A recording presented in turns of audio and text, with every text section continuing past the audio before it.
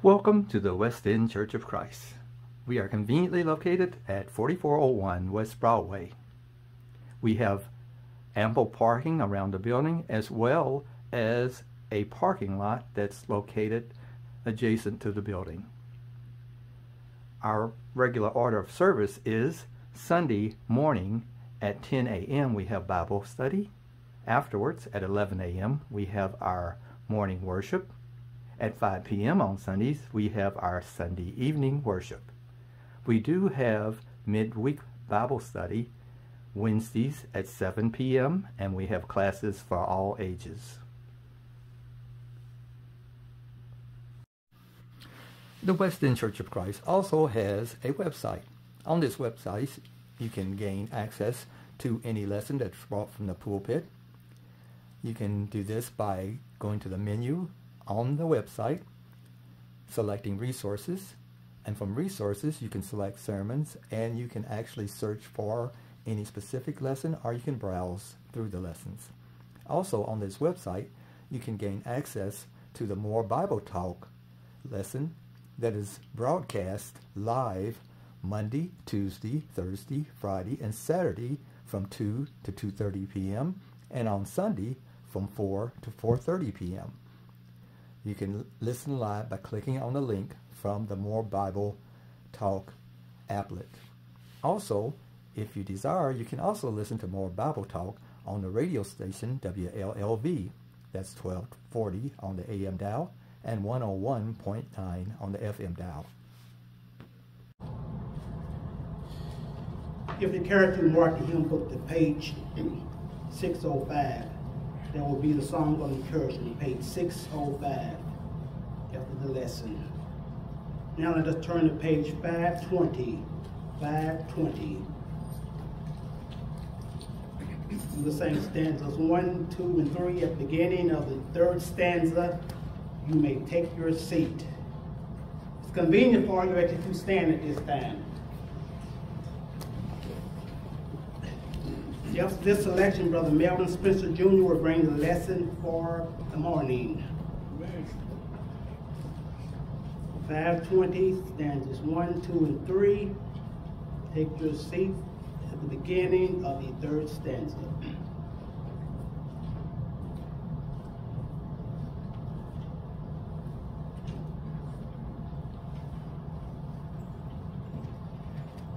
Five twenty.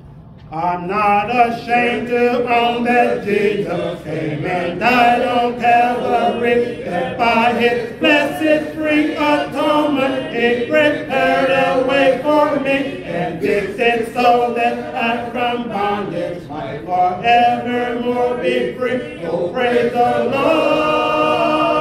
I'm not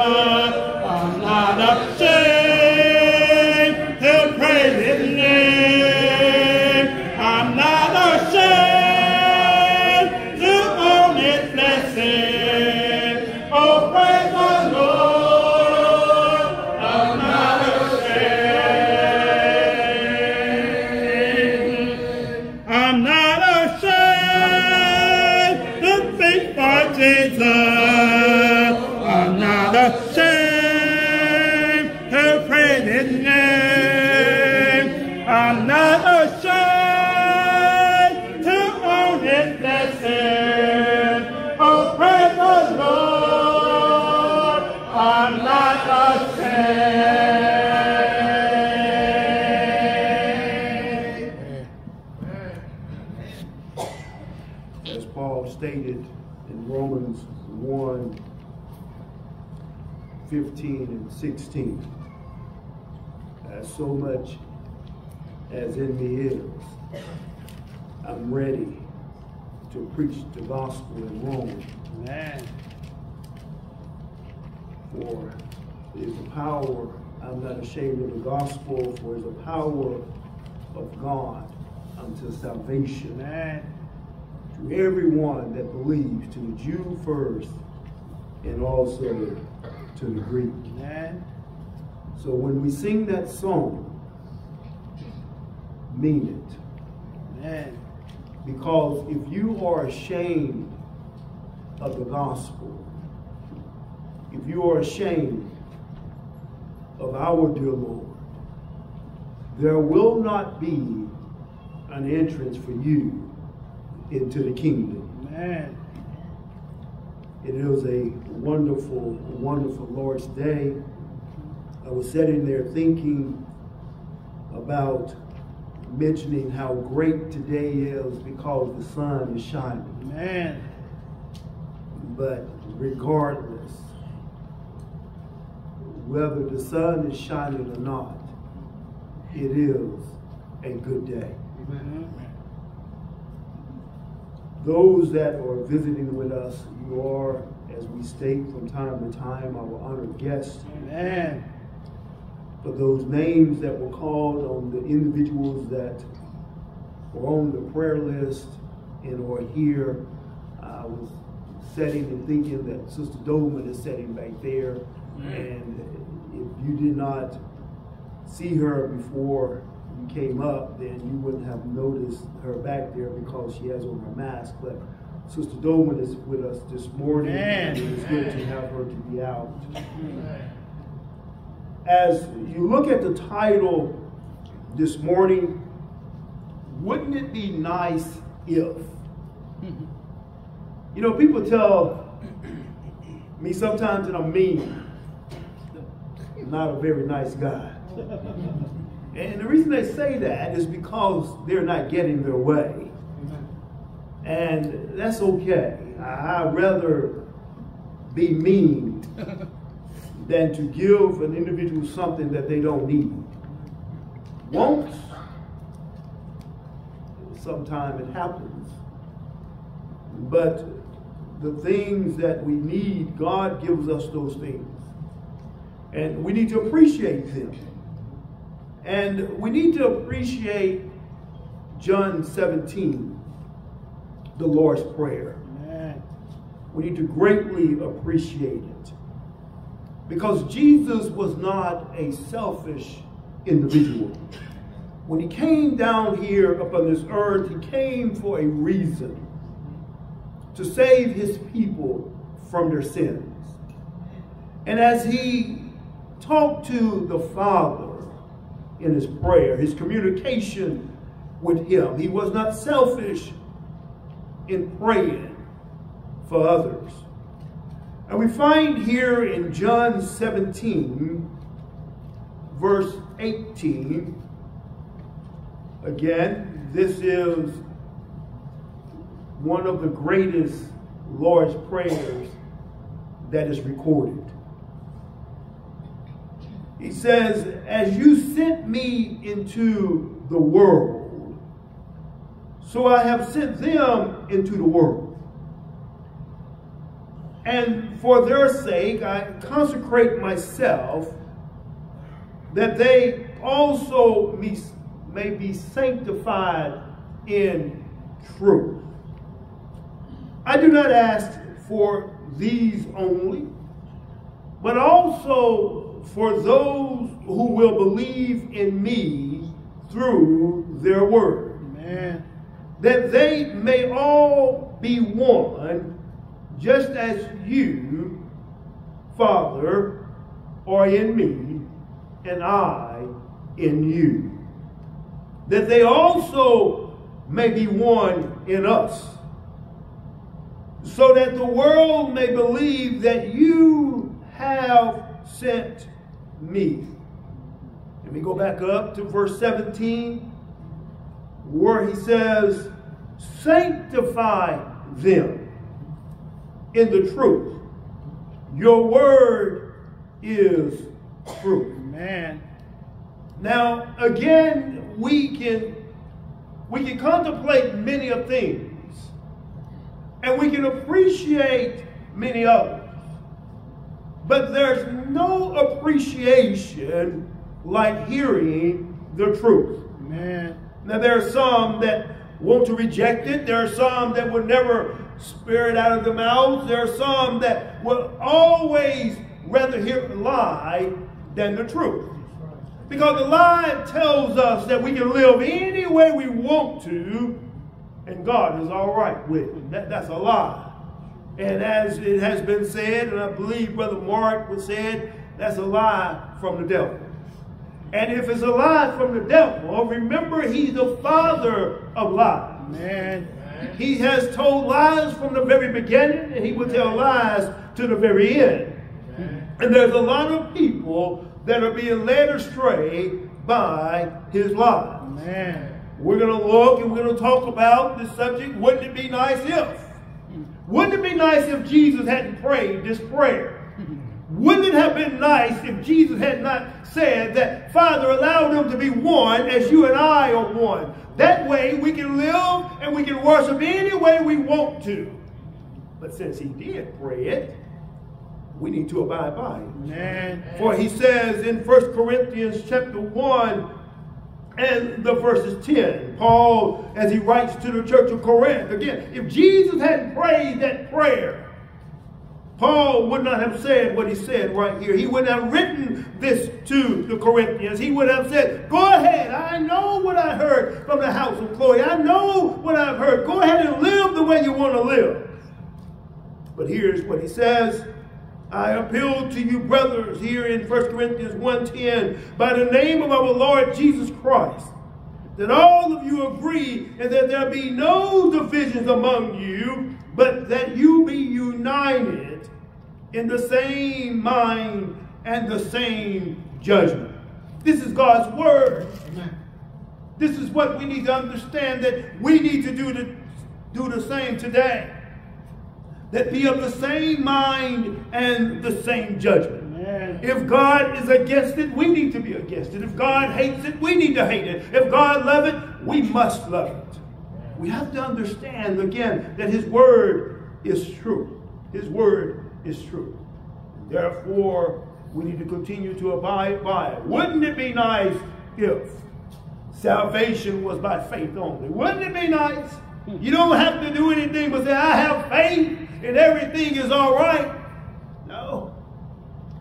The problem with that is God's word does not say that salvation alone saves. Mm-hmm. His word doesn't teach that. And if his word doesn't teach it, we should not believe it. Amen. Proverbs 28 and the verse is 13. Proverbs 28 and the verse is 13. What does his word say? When individuals will come to you and tell you, all you have to do is have faith, everything will be all right. You'll be saved. Don't have to worry about anything. Well, when you read here in Proverbs 28 and verse 13, he says, Whoever conceals his transgressions will not prosper, but he who confesses and forsakes them will obtain mercy. So, not just having faith that there is a God, but confessing your faults unto him. That's what Solomon is saying. Well, well, what happens to the world when the world says all you have to do is have faith? The world is lying to you. And they will continue to lie to you. And we have to continue to look in the Word of God to prove them wrong. Luke chapter 13 and the verses 3. Luke 13 and the verses 3. Let's go back up and read verse 1 and, and come to verse 3. Luke 13, verse 1. There were some present at that very time who told him about the Galileans, whose blood Pilate had mingled with their sacrifices. And he answers them, Do you think that these Galileans were worse sinners than all the other Galileans because they suffered in this way? He says, No, I tell you. No, I tell you, but unless you repent, you all will perish. Amen. Likewise, you will perish. And so again, if faith alone saves, why does an individual have to confess? Why does an individual have to repent? Well, why? How, how come he can't just continue to live the way he's living? How come he can't go around with a closed mouth and never confess that Jesus is the Christ or confess that he has sin in his life? So we need to understand that faith alone doesn't work. Right. You need something to go along with it. And, and you find here three things that, that save. Yes, faith saves, but confession saves as well, and, and repentance saves as well. And then we continue on and, and think about this, this topic here. Wouldn't it be nice if this thing would work? Wouldn't it be nice? Wouldn't it be nice? So we have to understand wouldn't it be nice if we could all understand the Bible alike? Or, or wouldn't it be nice if we if we could not be, if the Bible could not be understood? If the Bible could not be understood, that means that if you are homosexual, you can continue to live that way. If you're a whoremonger, you can continue to live that way. If you're drunk, you can continue to live that way. But that, that's the problem. The problem is the Bible can be understood. Amen. And know that God is displeased with individuals that, that participate in things that he is displeased with. Amen. So we look and we find here in John chapter 8 and the verse is 32. John chapter 8 and the verse is 32. All you have to do is pick it up, read it for yourself, get an understanding from what the Word of God says. It says here in John 8 31, so Jesus said to the Jews who had believed him, If you abide in my word, you are truly my disciples. Amen. And you will know the truth, and, and the truth will set you free. Amen. Well, well, how can we, we know what God wants us to do? How can we know how to become a disciple of our Lord and our Savior if we don't pick up the Word. And get that understanding that needs to be got? We have to look deep into the treasures of our Lord's Word, and we don't have to, you know, scratch it too hard. Just, just look what it says right here. You can know the truth, and the truth will set you free. Amen. A lie is what binds us. A a lie is what bounds us. A lie is what keeps us in the prison. But we can free our minds by doing the things that God wants us to do. You can know the truth, and the truth will set you free. In Acts chapter 17, in the verse is 11. See, so many times we want to listen to what man says. Oh, he preached a good word today. Well, what did he talk about? I can't remember, but it was a good word. Well, what Bible verses did he use? Oh, he just told a bunch of good stories and, and it was just so inspirational. Those things will carry a whole lot of people to hell. Hmm. What we need is we need God's word. Amen. We need to look and we need to do as these individuals did here in Acts chapter 17, verse 11. It says that these were more noble than those in Thessalonica, that they searched the scriptures daily to make sure that those things were so. Amen. And that's what we want you to do.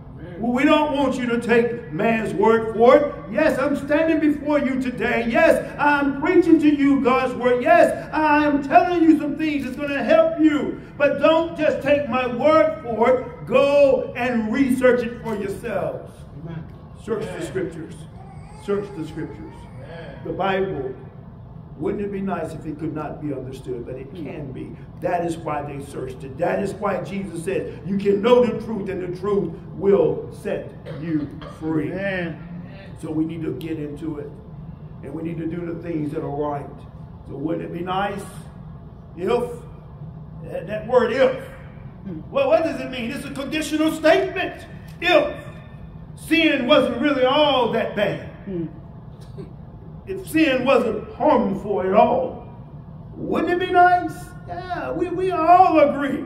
There are some things that, that you may have done in times past that you may say, well, it's not really that bad. I can go back to those things. No, you can't. Right. Not to be pleasing to God, you can't.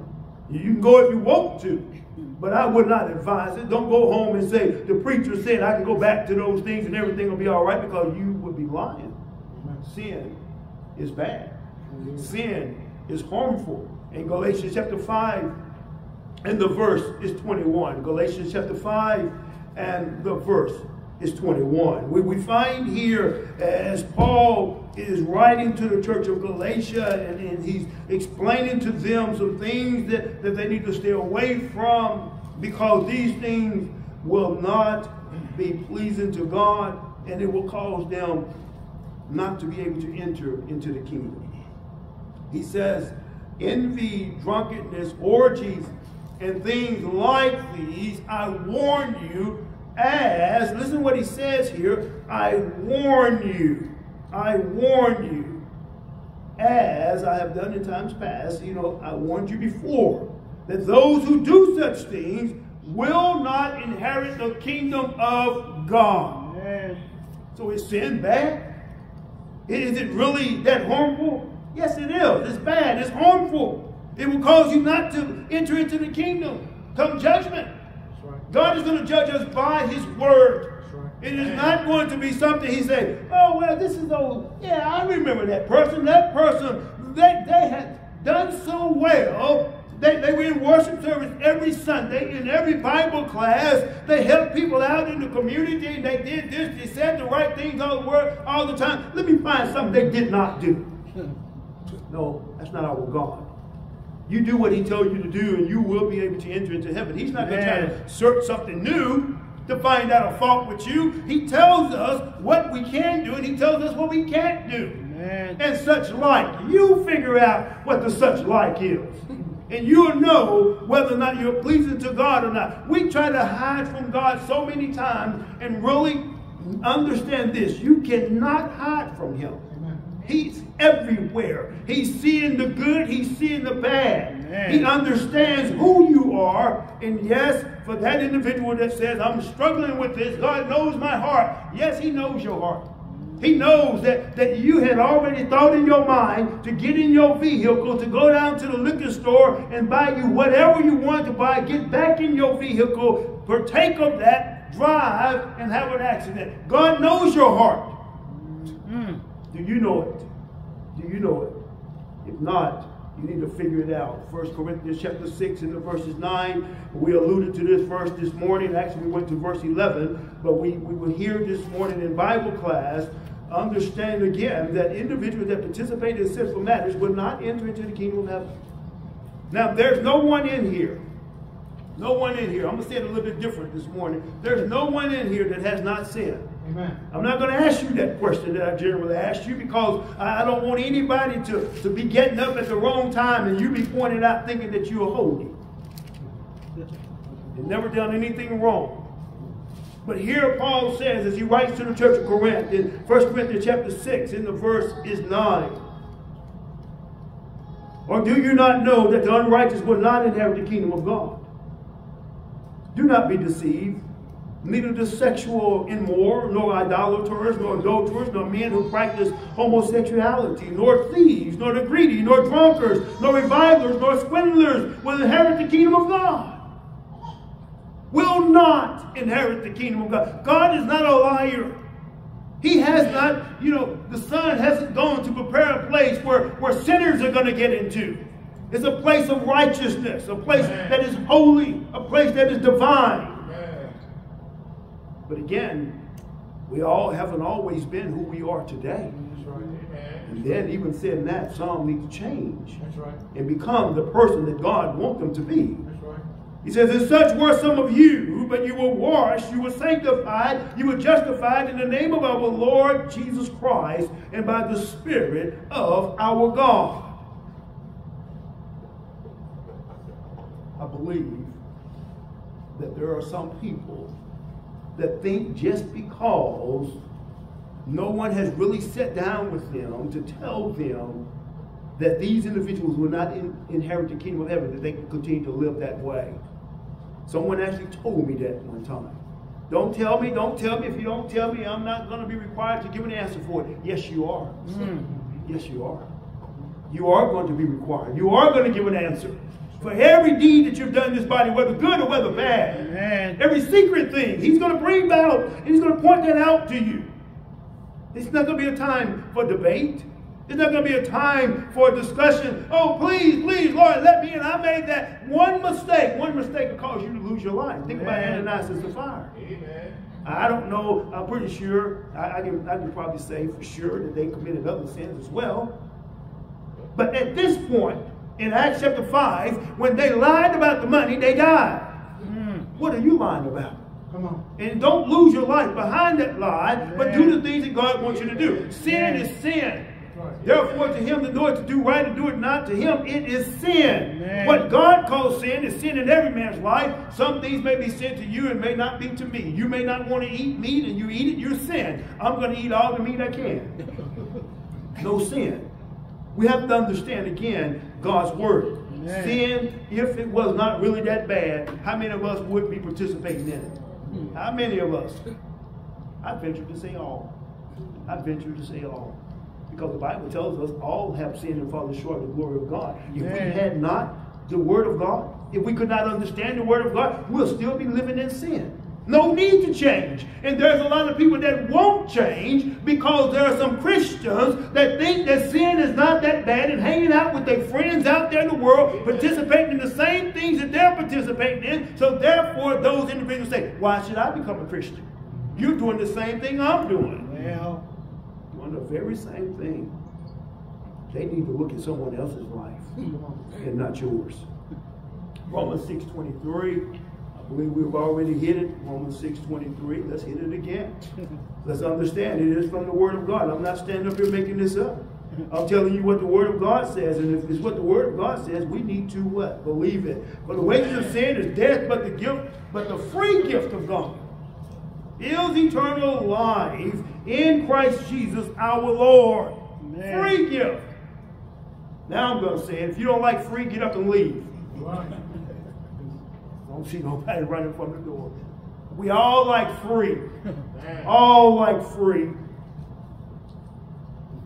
The wages of sin is death. The wages of sin is death. But the free gift of God is eternal life in Christ Jesus our Lord. See, we talk about that gift of the Holy Spirit in, in Acts chapter 2 is salvation. It's a free gift. It's from God. And we need to accept it. He's not giving everybody the gift to speak in tongues. He's not giving us that. Brother Mark and I were talking about the work of the Holy Spirit the other day on the radio program. See, he can dwell within you, but not in any miraculous way. He's not going to force himself on you, just as God is not going to force this free gift on you. Eternal life. You know, how many of us want to live forever and not die here upon this earth? Hmm. We want to live forever around the throne, worshiping our God. Amen. Because God desires men everywhere to be saved. Amen. Therefore, we need to look at the word and we need to be obedient unto what he wants us to do. Wouldn't it be nice if there was no hell? Wouldn't that be nice? You, you, you know, the only place that, that has been prepared would be heaven. How, how are you going to know this if you don't go to the Word? Yeah, that's what Jesus says. In, John 14, 1, let not your hearts be troubled. You believe in God, believe also in me. In my Father's house are many mansions. If it were not so, I would have told you. So I go and prepare a place for you. If I go and prepare a place for you, I will come again and receive you unto myself. You know, it's hard to talk about hell and not be able to talk about heaven. Because both of them are prepared places. Both of them. How do I know this? I know this because the Bible teaches this. Hell was prepared for Satan and his angels. Not for you and I, for Satan and his angels. But wouldn't it be nice if there was not a hell? We, we again, we can live anywhere we wanted to live and not have to worry about that eternal punishment, that second death. Matthew chapter 25, verses 41 through 46. Matthew 25, verses 41 through 46. And then he will say to those on his left, Depart from me, you cursed, into eternal fire, prepared for the devil and his angels. For I was hungry, and you did not give me food. And I was thirsty, and you gave me no drink. I was a stranger, and you did not welcome me. Naked, and you did not clothe me. Sick, and in prison, and you did not visit me. Oh man, I tell you. If there was no hell, we wouldn't have to do none of those things, would we? Mm. But you know, a lot of people are ignoring those things. They say, I don't want to do that. But, but listen to what he says. Then they also would answer, saying, Lord, when did we see you hungry or thirsty or a stranger or naked or sick or in prison and did not minister to you? Then he will answer them, saying, Truly I say to you, you did not do it to one of the least of these. You did not do it to me. And, and these will all go away into eternal punishment, but the righteous into eternal life. Eternal. That, that's the key word there. Eternal. You will never be able to escape. It's not a few seconds in hell. It's a eternity. Eternity. Eternity. Do not fall prey and think that there is no hell and that you can live any way that you want to live. People will teach, oh, there's a place called purgatory. Uh, I, I, want you to go and look at the movie Purgatory. It's a Western, so some of y'all wouldn't go and watch it. But it's, it's a temporary place. It's a temporary place. That, that's what the purgatory. They, they said you can pray them out of hell. You can't pray them out of hell. Mm. There's no escape. If that's where you're doomed to go because of your behavior, then that's where you're doomed to go. You have time to change. You must change in order to be pleasing unto God. In Revelation chapter 21, and the verses 8, Revelation chapter 21 and the verses 8. You know, I, I, can hear it now. People saying, oh man, let's not go to the book of Revelation. I'm afraid of the book of Revelation. Live right and you don't have anything to fear. Yeah. He says this in Revelation 21 8, but as for the cowardly, the faithless, the detestable, as for murderers, as for the sexual immoral, sorcerers, idolaters, and all liars, their portion will be in the lake that burns with fire and sulfur, which yields the second death. You believe in God's word, you believe that there's a hell. You don't have to go there. It wasn't prepared for you and I, it was prepared for Satan and his angels. There are so many people that have turned their backs on God that hell is where they're going to spend their eternity. Wouldn't it be nice if there was a second chance after death? Wouldn't it be nice, a second chance? Well, you know, I can, I'm here in, in, in torment. And, and I'm, I'm, trying my very best to, to, to, get my life right. Here, here I am with these other souls that, that are condemned, and, and I, I'm, I'm, I'm nice now. I'm, I'm doing everything I'm supposed to do. Hmm. What about the rich man? Rich man. The rich man was there in torment. He wasn't asking for a second chance, was he? He wasn't. He knew that he was already condemned. He wasn't asking for a second chance. He was just asking for a drop of water to cool his tongue. Man. That's all he was asking for, but that's not all he asked for. See, he wasn't selfish either. He wanted that water to cool his tongue, but he also wanted someone to go back and talk to his brothers well. that were just as sinful as he was. And he knew if they had not changed, that they was going to come to that same place in which he was, a place of torment.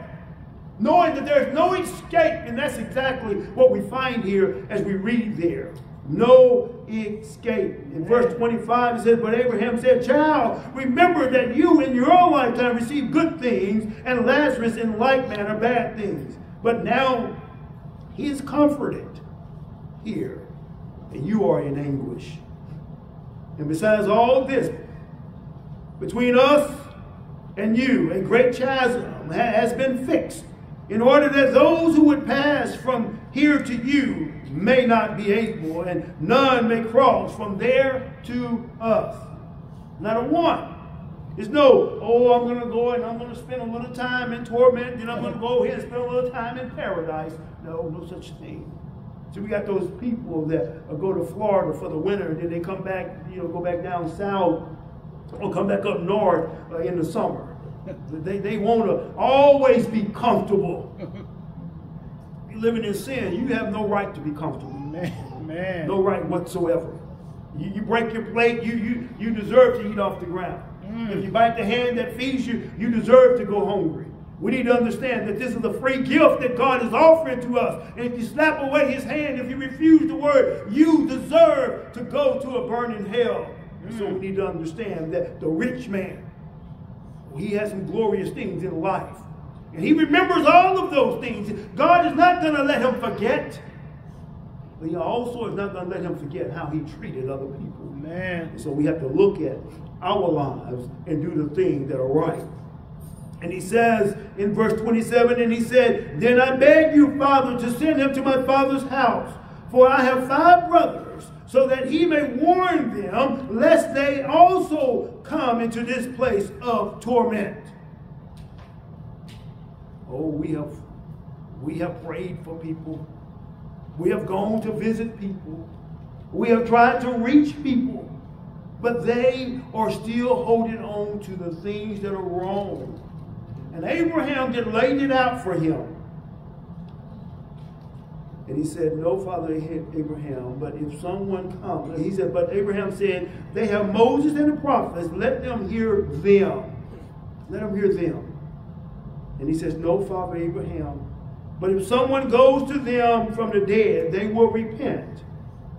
And he said to him, If they do not hear Moses and the prophets, neither will they be convinced. If someone should rise from the dead. Want y'all think about that just for a moment. They will not even hear. So, in, in other words, what was being said right here, that these individuals just possibly lived after the resurrection of Jesus. And it's so pro prophetic, pro pro pro what's that word? Prophetic. That's it. That Abraham is telling them, telling him that they will not obey. They're going to be in the same place. Same place as, as, as the rich man. The five brothers was going to be there. They can have a family reunion. And talk about all the people they mistreated. Talk about all the missed opportunities they had to turn their lives around, to feed a man like Lazarus. But they didn't do it. They didn't do it. What are we going to do? Wouldn't it be nice if there was a second chance after that? Man.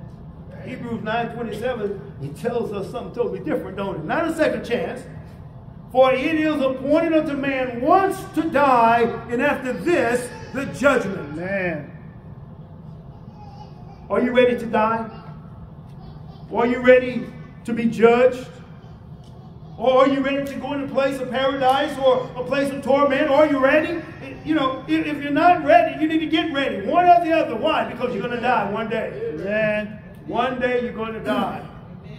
Wouldn't it be nice if salvation was by faith only. Wouldn't it be nice if the Bible could not be understood? Wouldn't it be nice if sin wasn't really that bad, not harmful? Wouldn't it be nice if there was no hell? Wouldn't it be nice if there was a second chance after death? Wouldn't it be nice? Yes, it would be. And you know, all of these things right here, somebody out there is preaching that you can be saved by faith only. Somebody's out there preaching that you cannot understand the Bible if you don't have some type of degree. I took my temperature this morning. It was 93.1. Mm. We need to check that thermometer out. I think that thing was all messed up. Wouldn't it be nice? But somebody's out there preaching this, that sin wasn't really that bad. No harmful. Keep on doing what you're doing. Once saved, always saved. Oh, God is not going to condemn you to hell. Keep on living the way you're living. You're just going to go for a little while. Who would want to go to hell for a little while? Well, not me. Someone is preaching there's going to be a second chance after death. It's going to be all right. Somebody's praying for you. Somebody is paying for you to come out of hell. It's not going to work. Now, Wouldn't it be nice if everybody would look at this plan of salvation and be obedient to it? Yes, it would be. It would be. It would be so nice that someone would say, I'm ready to become a child of God. I'm ready to do the things that are right and pleasing before God. We find here in Acts chapter 3 and the verse of 22, Moses said, The Lord God will raise you up like a prophet like me from the brothers. You shall listen to him and whatever he tells you. Hearing is important. Why? Because faith comes by hearing and hearing by the word of God. Believing that Jesus Christ is the Son of God, we find in John chapter 8 in the verse 24, Jesus said, Except ye believe that I am he, you will die in your sins. Already read Luke chapter 13, verse 3. Just drop down to verse 5 if you don't want me to continue to repeat myself. It says the same thing. Except ye repent, ye shall all likewise perish. Man. So we need to understand what God wants us to do hearing, believing, repenting, and confessing. In John chapter 12, and the verse is 42. John chapter 12, and the verse is 42. Nevertheless, many even of the authorities believed in him, but for fear of the Pharisees, they did not confess it, so that they would not be put out of the synagogues. You see how important confession is? These individuals would not confess it because they did not want to be put out of the synagogue. We must confess that Jesus is the Son of God, and then once we make that confession, we get baptized. Why? Because it's for the forgiveness of sin. Acts chapter 2, the verse is 38. It is for us to have our sins washed away, according to Acts chapter 22, when Paul recounts his conversion. Understand again that we must do what God wants us to do and then be faithful until the very end. So if you're here and you're not a child of God and you want to become one, wouldn't it be nice if you did so today? It's simple. It's not so hard. Uh, that's called God's simple plan for salvation. Man has complicated it. They have added things to it. There are about you know, we, we talk about 24, 25, 26 things that saves, and the question is, which one can you leave out? They're all so simple. All we have to do is be obedient to what he says, and we can be saved. And then that's when the rubber meets the road. That's when, yes, we're going to figure out Satan has been tempting me to do this, tempting me to do that, but don't give in to it. Keep living the way God wants you to live. Come and make that confession that you believe that Jesus Christ is the Son of God and be immersed in the water of baptism. Rise into walk in newness of life. If you're here and you are already a Christian, you're straight away, we're asking you to come back to the fold before it is everlasting too late. Confess your faults unto him, and he's just to forgive you of all unrighteousness.